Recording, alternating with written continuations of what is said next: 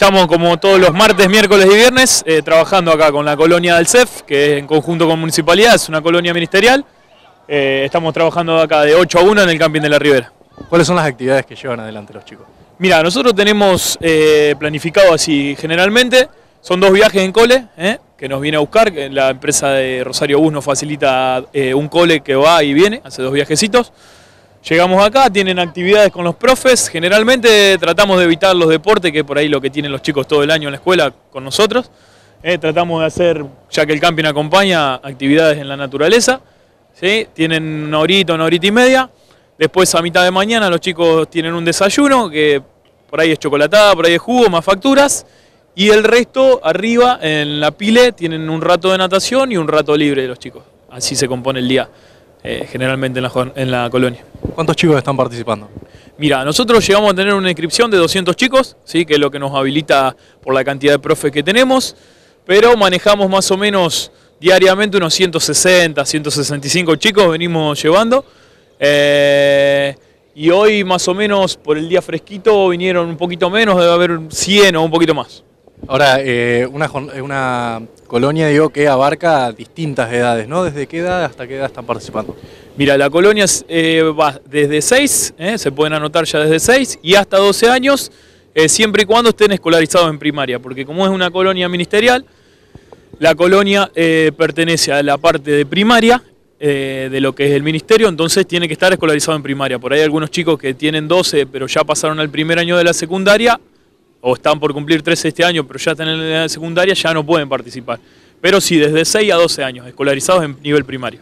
Ahora es importante que los chicos participen de, este tipo de, actividades, importante durante el, receso escolar, ¿no? Ni hablar, ni hablar. Nosotros además tenemos chicos por ahí de, de todas clases sociales y con distintas realidades, inclusive tenemos chicos integrados de niñez que por ahí viste, tienen algunos problemitas familiares y acá uno, si bien no le soluciona todo, pero son unas cuatro o cinco horitas que los chicos se despejan, se integran acá con los demás chicos y tienen por ahí acceso a una pileta, que la gran mayoría, digamos, por la tarde o en el verano no tienen el acceso a una pileta porque si bien sabemos que es bastante caro o hay que, cumplir algunos requisitos que por ahí los chicos no, no lo tienen o los papás no se lo pueden facilitar, entonces está bueno porque acá tienen tres días a la semana la pile gratuita, eh, el desayuno, los juegos, los profes, todo gratuito en la colonia.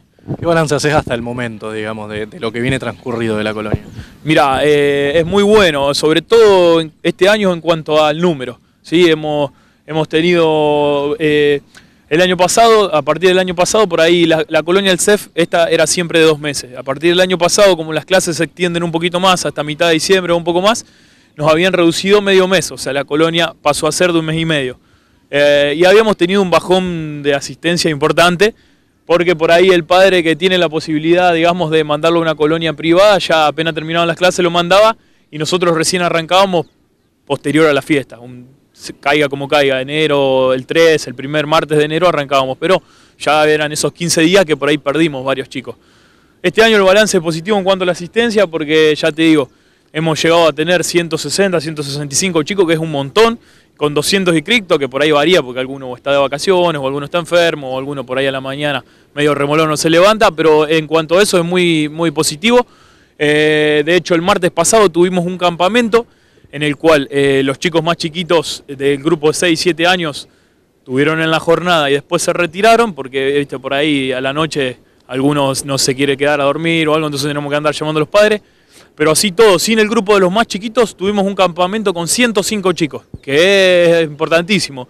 Dentro de los miedos que por ahí tienen los papis, que no lo mandan o algo, eh, tener un campamento de más de 100 chicos es un número grande para un campamento y la verdad que quedamos re contentos porque salió bárbaro Tuvimos dos días acá a pleno y con muchos chicos, con una asistencia de muchos chicos que se quedaron a dormir, que es muy bueno.